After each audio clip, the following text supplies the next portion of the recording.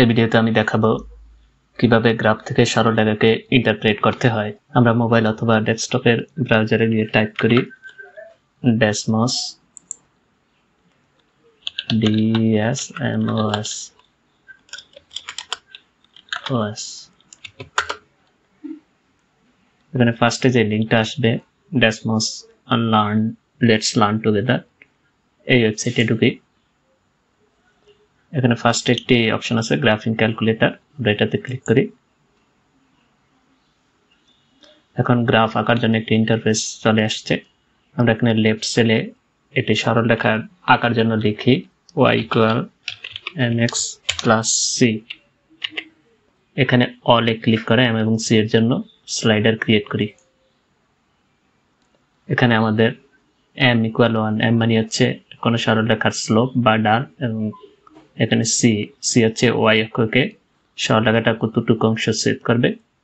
ওই ভ্যালুটা বোঝায়, এখানে সি ইকুয়াল ওয়ান মানে আমাদের এখানে যদি ওয়াই অক্ষর এই পয়েন্টে ক্লিক করি, এখানে কোঅর্ডিনেট হচ্ছে জিরো কমা ওয়ান অর্থাৎ এখানে এক্সের ভ্যালু হচ্ছে জিরো ওয়াই এর ভ্যালু হচ্ছে ওয়ান এখন আমি যদি সি এর ভ্যালু চেঞ্জ করি টুতে কনভার্ট করছি, এখন দেখি ওয়াই কে সেট করছে জিরো কমা টু এবার ওয়াই অক্ষের পজিটিভ দিকে ওয়াই অক্ষকে দুই একক পরিমাণ অংশতে গিয়ে সেভ করছে। আমরা এখানে সি এর স্লাইডারের রেঞ্জটা চেঞ্জ করে দিই। আমরা এখানে স্লাইডারের ভ্যালুতে ক্লিক করি। স্লাইডারের আমরা লোয়ার ভ্যালু দিই মাইনাস ফাইভ এবং হাইয়েস্ট ভ্যালু দিই ফাইভ এবং স্টেপ দিই ওয়ান অর্থাৎ প্রত্যেকটা ভ্যালু এক করে ইনক্রিজ হবে। এন্টার দিই। আমরা যদি টু থেকে থ্রিতে কনভার্ট করি, এখন ওয়াই অক্ষের পজিটিভ থেকে তিন একক পরিমাণ অংশ সেট করছে। যদি এটার সি কে নেগেটিভ নিয়ে যাই, আমরা তার আগে সি ইকুয়াল জিরো দেখি। সি ইকুয়াল জিরো মানে ওয়াই অক্ষকে জিরো পরিমাণ সেট করছে। অর্থাৎ আমাদের এই সরলরেখাটা মূল বিন্দুগামী। এখান থেকে দেখা যায় সি ইকুয়াল জিরো হলে সরলরেখার সমীকরণ দ্বারা Y equal M X Y equal M X হচ্ছে মূল বিন্দুগামী সরলরেখার সমীকরণ। সিকে আমরা নেগেটিভ করি মাইনাস টু করি। এই সি মাইনাস টু মানে ওয়াই অক্ষের নেগেটিভ দিকে দুই একক পরিমাণ অংশ সেট করবে ওয়াই অক্ষকে। আমরা এখানে দেখি, স্থানাঙ্ক যদি দেখি জিরো কমা মাইনাস টু অর্থাৎ ওয়াই ভ্যালু মাইনাস টু এই পয়েন্টে ওয়াই অক্ষকে নেগেটিভ দিকে টু পরিমাণ অংশ সেট করছে। আমরা যদি এখানে যে ভিডিও বাটনটা আছে, এটাতে ক্লিক করি, তাহলে গ্রাফটা এনিমেট হবে সি এর ভ্যালুর চেঞ্জের জন্য। মাইনাস ফাইভ থেকে ফাইভের ভিতর গ্রাফটা মুভ করতেছে। আমরা এটা স্টপ করি। এবার আমরা দেখি এম এর চেঞ্জের জন্য সরল রেখার গ্রাফিক কীরকম চেঞ্জ হয়। এম আমরা জিরো করি ফার্স্টে জিরোর জন্য দেখি। এম ইকুয়াল জিরো অর্থাৎ ডাল হচ্ছে জিরো ডাল জিরো হলে আমাদের যে ইকুয়েশনটা দ্বারা ওয়াই ইকুয়াল এম এ অংশটা জিরো ওয়াই ইকুয়াল সি এখানে সি সিলেক্ট করা আছে দুই, অর্থাৎ তখন আমাদের একটা হরিজন্টাল লাইন ক্রিয়েট বা আনুভূমিক একটা লাইন ক্রিয়া যেটা হচ্ছে এক্স এক্সিসের সাথে প্যারালাল এখানে ওয়াই ইকুয়াল সি সির ভ্যালু হচ্ছে টু অর্থাৎ ওয়াই ইকুয়াল টু স্টেট লাইনের উপর যে কোনো পয়েন্টে ওয়াই এর ভ্যালু টু এক্সের যে কোনো ভ্যালুর জন্য। এই পয়েন্টে এক্সের ভ্যালু হচ্ছে four point eight eight Y value two এবার এই পয়েন্টে দেখি এক্সের value minus four point nine five Y value two এবার আমরা যদি এম এর ভ্যালু ইনক্রিজ করি জিরো থেকে আমরা এটাকে ওয়ান টুতে রাখি। আমরা এম এর স্লাইডার ভ্যালুটাও চেঞ্জ করে নিই। আমরা এখানে রেঞ্জ দিই মাইনাস টেন থেকে মাইনাস টেন থেকে ten lower limit minus ten upper limit ten এবং স্টেপ দেই one okay M M equal two এর জন্য গ্রাফটা দেখতেছি। এখানে এই এই পয়েন্ট হচ্ছে জিরো কমা টু আর এই পয়েন্ট হচ্ছে মাইনাস ওয়ান কমা জিরো আমরা গ্রাফ থেকে স্লোপ বা ডাল বের করতে পারি।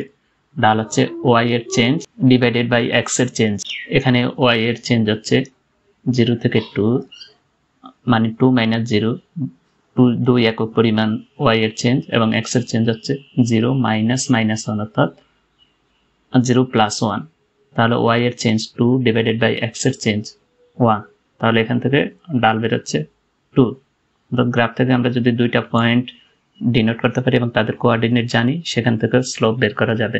পজিটিভ ডাল বিশিষ্ট কোনো সরলরেখা বলা ইনক্রিজিং সরলরেখা কারণ এখানে যখন আমরা লেফট থেকে রাইটে যাই এক্স ইনক্রিজের সাথে সাথে ওয়াই এর ভ্যালু ইনক্রিজ হইতে থাকে। এখানে দেখি এক্স হচ্ছে মাইনাস ওয়ান এই সেকেন্ড পয়েন্টে এক্স হচ্ছে জিরো অর্থাৎ এক্স ইনক্রিজ হয়েছে এবং ওয়াই এর ভ্যালু জিরো থেকে টু হয়েছে। ওয়াই এর ভ্যালু ইনক্রিজ হয়েছে। এজন্য এটাকে বলা হয় ইনক্রিজিং স্টেট লাইন আমরা যদি এম এর ভ্যালু আরও ইনক্রিজ করি গ্রাফটা ধীরে ধীরে এক্সের রেসপেক্টে আরও খাড়া হচ্ছে। আমরা এম এর ভ্যালু যদি নেগেটিভ করি, অর্থাৎ ডাল যদি নেগেটিভ হয়, ডাল এখানে নেগেটিভ মাইনাস টু এই ধরনের নেগেটিভ ডাল বিশিষ্ট সরলরেখা বলা হয় ডিক্রিজিং স্ট্রেট লাইন কারণ এখানে আমরা যদি যে কোনো দুইটা পয়েন্ট ডিনোট করি লেফট থেকে রাইটের দিকে চিন্তা করি লেফটে এখানে এই পয়েন্টের এক্সের কোঅর্ডিনেট হচ্ছে জিরো এবং ওয়াইয়ের কোঅর্ডিনেট হচ্ছে টু অর্থাৎ এখানে এক্সের ভ্যালু এই পয়েন্টে এক্সের ভ্যালু জিরো এবং ওয়াইয়ের ভ্যালু টু এক্স যদি ইনক্রিজ করি এক্স এখানে ওয়ান এবং ওয়াই হচ্ছে জিরো এক্স জিরো থেকে ওয়ান হয়েছে এক্স ইনক্রিজ হয়েছে, কিন্তু ওয়াইয়ের ভ্যালু ডিক্রিজ হয়েছে টু থেকে জিরো এই জন্য নেগেটিভ ডাল বিশিষ্ট সরলরেখা হচ্ছে ডিক্রিজিং সরলরেখা। সরলরেখার ডাল চেঞ্জের জন্য, সরলরেখার কীরকম পরিবর্তন হয় এটা ভালোভাবে বোঝার জন্য আমরা একটা হরিজন্টাল লাইন নেই ওয়াই সমান নেই ফাইভ আমরা এখানে দেখি এখন এই পয়েন্টটা নিয়ে চিন্তা করি ওয়াই যখন ফাইভ অর্থাৎ ওয়াই ভ্যালু ফাইভ অ্যাচিভ করার জন্য এক্সের দরকার হচ্ছে মাইনাস ওয়ান পয়েন্ট ফাইভ এক্সের ভ্যালু যখন মাইনাস ওয়ান পয়েন্ট ফাইভ এই স্টেট লাইনটা ওয়াই ভ্যালু দেখায় ফাইভ এটা আমরা চিন্তা করতেছি যখন ডাল হচ্ছে মাইনাস টু এখন ডালে যদি আমরা আর আরও ডিক্রিজ করি মাইনাস থ্রি করি, এখন দেখতে পাচ্ছি এই পয়েন্টের কোঅর্ডিনেটটা দেখি। এই পয়েন্টের ওয়াইয়ের ভ্যালু ফাইভ অ্যাচিভ করার জন্য এক্সের এক্সের ভ্যালু দরকার হয়েছে মাইনাস ওয়ান আগে যখন ডাল নেগেটিভ টু ছিল, তখন ফাইভ অ্যাচিভ করার জন্য এক্সের দরকার হয়েছে মাইনাস ওয়ান পয়েন্ট ফাইভ এখন আরও দ্রুত স্ট্রেট লাইনটা ডিক্রিজ হইতেছে আরও ডিক্রিজ করি এর ভ্যালু মাইনাস ফোর এখন ফাইভ অ্যাচিভ করার জন্য এক্সের দরকার হচ্ছে only minus zero point seven five অর্থাৎ এই স্টেট লাইনটা আরও কুইকলি ডিক্রিজ হইতেছে। এম এর পজিটিভ মানের জন্য দেখি। এখানে এই কোঅর্ডিনেটটা আমরা ডিনোট করি। এই ওয়াইড ভ্যালু ফাইভ অ্যাচিভ করার জন্য এক্সের দরকার হচ্ছে ওয়ান পয়েন্ট ফাইভ যখন ডাল হচ্ছে টু আমরা যদি এমকে বাড়াই ইনক্রিজ করি থ্রি এখন এই কোঅর্ডিনেটটা দেখি। এখন সেম ওয়াইড ভ্যালু অ্যাচিভ করার জন্য এক্সের দরকার হচ্ছে ওয়ান অর্থাৎ আগে যেমন ওয়ান পয়েন্ট ফাইভ পরিমাণ এক্সের দিকে গেলেই আমরা ওয়াইয়ের ভ্যালু ফাইভ পেয়ে যেতাম। এখন এক্সের ভ্যালু ওয়ানের জন্য ফাইভ পেয়ে যায় অর্থাৎ গ্রাফটা আগের চেয়ে আরও দ্রুত ওয়াইয়ের ভ্যালু ফাইভ অ্যাচিভ করতেছে। এখান থেকে আমরা এটা বলতে পারি ডাল ইনক্রিজ হইলে গ্রাফের রেট অফ চেঞ্জ ইনক্রিজ হয়।